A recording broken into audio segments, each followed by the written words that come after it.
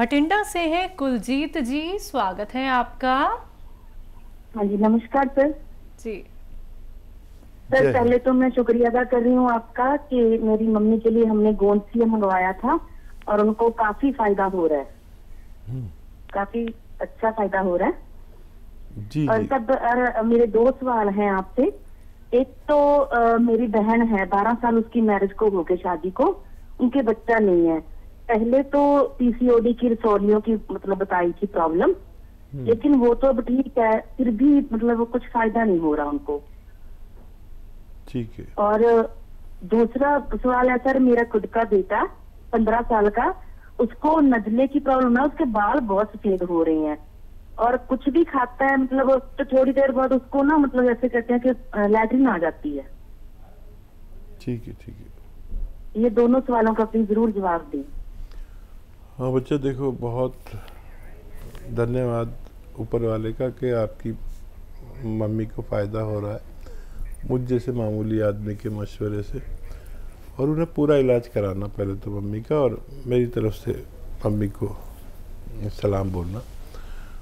और जो बच्ची, आपकी बहन के बच्चा नहीं होता है, उनके लिए एक नुस्खा बता रहा हूँ। ये सब गोल की भूसी मेडिकल स्टोर्स पर तमाम मेडिकल स्टोर पर गाँव तक में मिलती है। तो वो ख़रीद लें, थोड़ा सा एक पैकेट इतना बड़ा, और उसका एक चम्मच ईसबगोल की भूसी एक गिलास गर्मा गर्म दूध, या पानी, उसमें मिलाएँ और हिलाते रहें। और उसमें शक्कर मिला दें, उनकी ज़रूरत की जितना मीठा वो पसंद करते रहें तो ये खीर सी बन जाती है।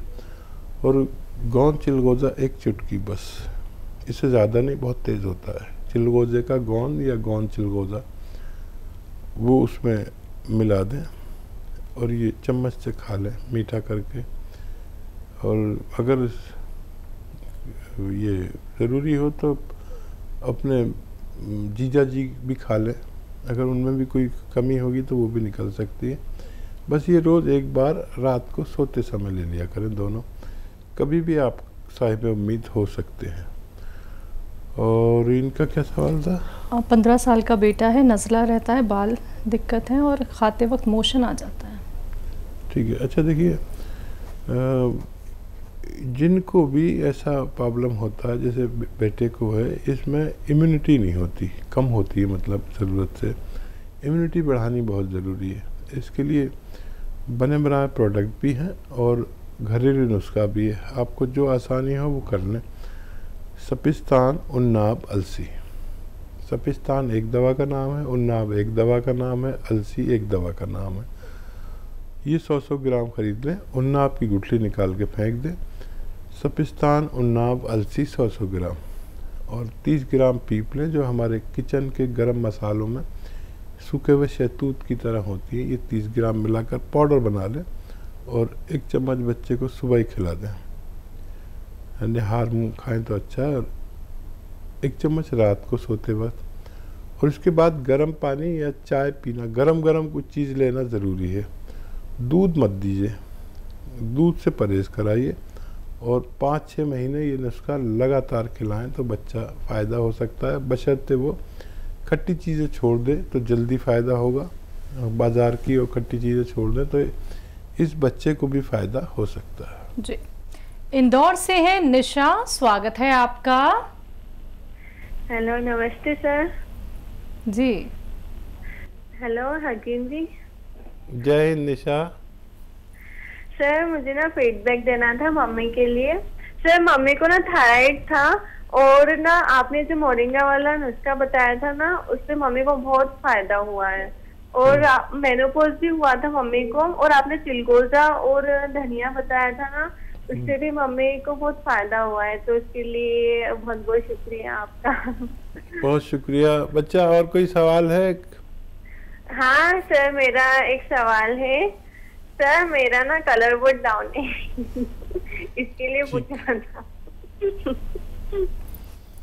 हम्म। बिटिया मम्मी को मेरा सलाम बोलिए। और उनको भगवान ने फ़ायदा दिया और आपसे और आपकी मम्मी से मेरा अनुरोध है कि ये नुस्खा अपने तक ना रखें। इसको फैला दें पूरे इंदौर में। एक तो वो इंदौर से वो कर्नल वर्मा का फ़ोन नहीं आ रहा आजकल, पता नहीं, बहुत दिन हो गए। भगवान करे उनकी तबीयत अच्छी हो। और हर रोज़ जुड़ते थे कर्नल वर्मा। भगवान करे वो खैरियत से हों, सलामत हों। और कलर साफ़ करने के लिए भी यूनानी में हैं नुस्खे। देखिए आंवला समझते हैं आप, आंवला सूखा हुआ मिलता है। खरीद ले दो सौ ग्राम आंवला। और ये अलसी सौ ग्राम, ठीक है? दो सौ ग्राम आंवला, अलसी सौ ग्राम। और गोंद मोरिंगा सफ़ेद सौ ग्राम। इन सबको खूब बारीक बना लें पाउडर बना लें। और गन्ने का रस, गन्ने का रस एक गिलास के साथ इसे रोज़ाना चार ग्राम खा लिया करें। रात को सोते समय या सुबह को? निहार मुँह, गन्ने के रस के साथ ताज़े ताज़े आप जितना चाहें अपना कलर साफ़ कर सकते हैं। जी। करनाल से हैं आंचल जी स्वागत है आपका। हेलो नमस्ते मैम जी नमस्कार। मैम मुझे ये प्रॉब्लम है कि पीरियड्स मेरे इम्बैलेंस रहते हैं। अच्छा आपकी उम्र कितनी है? अठारह साल है मैम 18 साल। पीरियड्स इनबैलेंस रहते हैं। हम्म, आप हैं अभी लाइन पर? यस मैम बच्चा ये बताइए कि ज़्यादा आते हैं जल्दी आते हैं या देर में आते हैं? सर ये है क्या मतलब रहते ही है हमेशा थोड़े थोड़े रहते हैं और कभी चले जाते हो कभी आ जाते हैं सही डेट पे नहीं आते। मतलब ज़्यादा रहते हैं हमेशा रहते हैं एक दो ड्रॉप हाँ आते नहीं हैं। नहीं सर ज़्यादा नहीं रहते मतलब थोड़े थोड़े रहते हैं और थोड़े थोड़े ही आते हैं हर वक्त आ जाते हैं कभी भी। ठीक है ठीक है। अच्छा बच्चा वो गोंद चिलगोज़ा आता है एक दवा। गोंद चिलगोज़ा चिलगोज़े का गोंद चिलगोज़ा एक ड्राई फ्रूट है जो सबसे महँगा ड्राई फ्रूट शायद इसे कह सकते हैं दुनिया का। इसके पेड़ से गोंद निकलता है, उसे गोंद चिलगोज़ा कहते हैं। और एक चुटकी गोंद चिलगोज़ा आप खा लिया करें, रोज़ाना रात को सोते समय खाएँ और आधा चुटकी खाने का सोडा या नमक? दो गिलास पानी में मिलाकर ये पानी पी लिया करें। बस एक ही बार लेना बहुत तेज़ होता है। आपकी ये समस्या हल होना मुमकिन है। जी। गाजियाबाद से हैं सोमपाल जी स्वागत है आपका। नमस्कार मैडम। नमस्कार सर। हकीम साहब नमस्कार। जय हिंद सोमपाल जी स्वागत है। हकीम साहब आपका परिवार कुशल मंगल। सब बेहतर है आप बताएँ आपके यहाँ कुशल मंगल। हाँ जी हकीम साहब मैं आपको साल भर से प्रोग्राम देख रहा हूँ आप तीसरी बार फ़ोन कर रहा हूँ। अच्छा। तीनों बार कॉल लगी है। जी। हम्म, तीनों बार कॉल लगी है हमारी। मैडम कुछ क्वेश्चन है मैं लिख लो आप हकीम जी, सर। पूछ ली हाँ। हाँ हकीम साहब एक तो हमारा पोता है। हम्म, पोता है छह साल का। हम्म, उसको जुकाम खांसी बहुत होता है। ठीक दूसरे उसके चाचा को भी होता है जुकाम खांसी। हम्म, इनको जुकाम खांसी होता ही रहता है फिर ये इंग्लिश दवाई पर दवाई दवाई पर दवाई खाते रहते हैं और ठीक हो जाता है दस पंद्रह दिन बाद फिर हो जाता है। ठीक है। तो एक तो बात ये है डॉक्टर साहब हकीम साहब दूसरे इनकी दा, इनकी दादी की दवाई मंगाई थी मैंने वहीं से ही आपके यहाँ से आपने बताई थी। हम्म, हम्म, उनके घुटनों में दर्द है और उनको शुगर है। अच्छा। हाँ डॉक्टर साहब उनके शुगर में भी थोड़ा आराम है थोड़ा ही आराम है और घुटनों में भी बहुत कम आराम है। कितने दिन से कितने दिन से ले रहे हैं दवा? ढाई महीने हो गए डॉक्टर साहब। ठीक है। ढाई महीने। अच्छा देखिए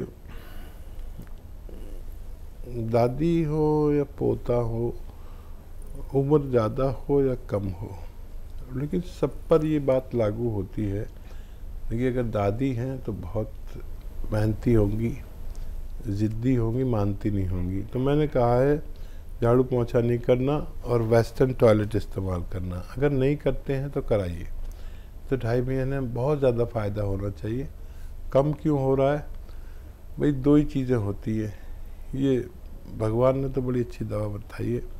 बनाई है और हम कुछ गलती करते हैं। अब या तो मैं गलती कर रहा हूँ या दादी गलती कर रही तो देख लीजिए कौन गलती कर रहा है। और आधा आधा ग्राम गौनसिया दें, जिनको दो बार से फ़ायदा नहीं होता, वो तीन बार भी आधा आधा ग्राम ले सकते हैं, क्योंकि काफ़ी टाइम हो गया, कम फ़ायदा है। और ये जो नज़ला का मर्ज़ है, ये सबसे ख़तरनाक है। हालाँकि हम इसको बहुत हल्के में ले लेते हैं। और यही वो रोग है जिससे हम हमेशा जूझते ही रहते हैं। इसका भी इलाज है यूनानी में, आयुर्वेद में। सपिस्तान 100 ग्राम उन्नाब 100 ग्राम, अलसी 100 ग्राम। उन्नाब का गुठली निकाल के फेंक दें। ये एक बेर होता है, ईरानी बेर, जिसे उन्नाब कहते हैं। सपिस्तान उन्नाब अलसी सौ सौ ग्राम खरीदें और तीस ग्राम पीपले जो हमारे किचन के गरम मसालों में पाई जाती हैं। तो वो मिला के पाउडर बना लें। ये पाउडर जितना ये पाउडर है, ये सफ़ूफ है जितना, उतने ही शहद में मिक्स करके रख दें। अभी एक चाटन हो गई, माजून हो गई च्यवनप्राश हो गया, समझ लीजिए। बच्चा आधा आधा चम्मच खाए सुबह शाम, निहार मुँह और रात को सोते वक्त, और इनके चाचा एक एक चम्मच खाएँ, इसी तरह। और दूध छोड़ दें खट्टी चीज़ें छोड़ दें। बिल्कुल। और ये कम से कम पाँच छः महीने दोनों लोग खाएँ दोनों को फ़ायदा होना मुमकिन है। जी। शिव कुमार प्रसाद जी हैं झारखंड से। स्वागत है आपका। जी। सर। बताइए सर आपका सवाल? मेरा सवाल है ये पेट में हमेशा कब्जियत बनती है। हाँ। और पैर हाथ में दर्द रहता है शुगर पेशेंट हूँ लेकिन शुगर मेरा ठीक रहता है। उम्र कितनी है आपकी? तिहत्तर चल रहा है। ठीक है सर। समझ गए आप इनका? कब्ज पैर में दर्द शुगर है लेकिन कंट्रोल रहती है। हम्म। अच्छा देखिए अगर दर्द है तो दुनिया का सबसे बेहतर रॉ मटेरियल मेरे नज़दीक गौन स्याह माना जाता है, अगर असली मिल जाए तो।